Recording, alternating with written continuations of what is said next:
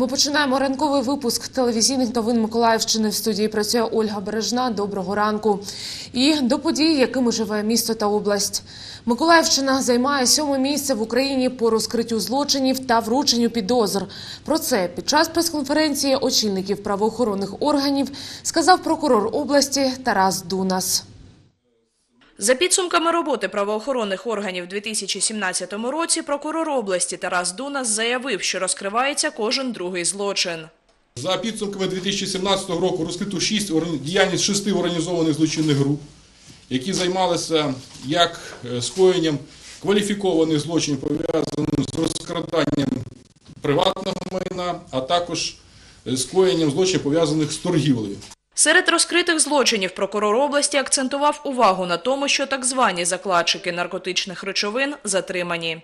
Всі ці закладчики встановлені, затримані. Нещодавно також проведено ще один рейд, пов'язаний з е, закладкою канабісу, який був результативний. Тобто всі ці особи, які займалися поширенням через інтернет, телеграм, зв'язками в місті Києві, вони навіть для того мудрялися, що вони вкладали ті кошти, які заробляли на наркоті, в так звані е, IT-технології, майнили криптовалюту, ціли сервера повилучали. Тобто є цей результат. На питання щодо підозрюваних в резонансних справах, яких відпустили із зали суду, прокурор відповів, це рішення суддів, яке в деяких випадках оскаржують. Серед таких справа Анастасії Скороченко, яку підозрюють у вбивстві своєї новонародженої дитини, та яку суд, попри вимоги прокуратури, відправив під домашній арешт. Там експертиза призначена, але буде проведена вона тільки на наступному тижні. Соціальні служби приходять періодично і дивляться, в якому стані ті двоє дітей, які залишилися з нею, який психологічний їх стан. Ще одна резонансна справа – хабар директора Миколаївського аеропорту. Тут слідчі дії тривають. Ми сподіваємося на швидке розслідування. Повірте, ні органи е, досудового розслідування, не, і ні слідчі, ні прокурори не зацікавлені в будь-якому випадку е, в затягуванні цього процесу. Моя позиція типу, тільки за те, щоб там коло підозрюваних розширилося, значить, і ми максимально притягнули до відповідальності, особливо з тих керівників, які там займалися такими справами. Справу екс-начальниці управління охорони здоров'я Маргарити Капусти закрили через недостатню доказову базу. Суд не дав дозвіл на обшуки. Втрачені були можливості щодо е, збіру тих збіру тої доказової бази. І на сьогоднішній день підтвердити факт скоєння злочину без тих документів, на які, скажімо, думали спрати в своєму обвинуваченні, не виявилось можливим.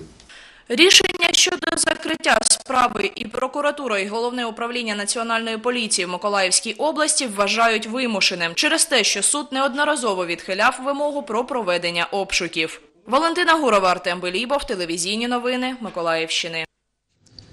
Презентація досягнень у вигляді телевізійних новин. Саме у такий спосіб висвітлили результати власної роботи перед громадою керівники Миколаївської обласної бібліотеки для юнацтва.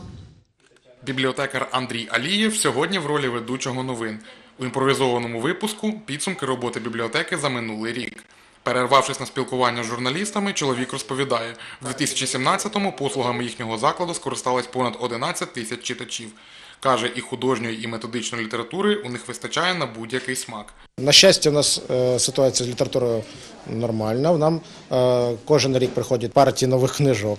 І все ж головна задача бібліотеки зараз це залучити молодь. Перед нами стоїть е, завдання залучати молодь до читання, тому що ми розуміємо, молодь повинна бути розумною. Для цього тут впроваджують сучасні технології, створили сайт та інтернет-центр. Цими ресурсами за минулий рік скористалось 58 тисяч відвідувачів. В першу чергу, звичайно, сьогодні це соціальні мережі. Тобто, у нас є своя сторінка у Фейсбуці, е, наш блог є. Тому ми на Ютубі у нас є своя сторінка. Тому ми на всі наші усілякі конкурси запрошуємо не тільки через навчальні заклади, де вони навчаються, а навіть через просто через інтернет. Читачі такі зусилля бібліотеки оцінили. Есть много книжек, которые мне по душе. Например, э, приключения, фэнтези. Э, И самое главное, что здесь есть э, компьютерный класс, где можно найти ответы на все вопросы. Також у бібліотеці організовують різноманітні заходи та флешмоби. Успішним проектом стали щорічні квести вулицями Миколаєва. Руслана Сантар двічі брала участь у пошуках. Минулого року її команда перемогла. Саме такі квести вони допомагають більше дізнатися саме, які цікаві місця знаходяться в нашому Миколаєві, ем, якусь саму історію. Це, це дуже зацікавлює як студентів, ну так напевно і школярів.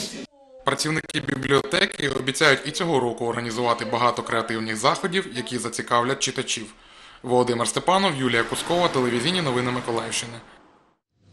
І поки що це все. Наступний випуск вже о восьмій. Не перемикайтесь і залишайтесь разом з командою. Нового дня.